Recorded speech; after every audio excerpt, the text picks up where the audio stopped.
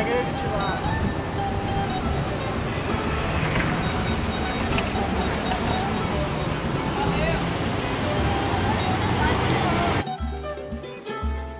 A faixa humana é, é uma proposta de conscientização do pedestre para atravessar na faixa.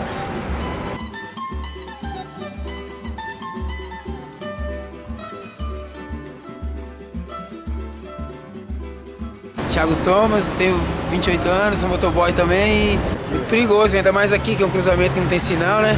Aí acaba vários acidentes eu vejo por aqui também, que eu trabalho aqui perto, aí tem vários acidentes aqui.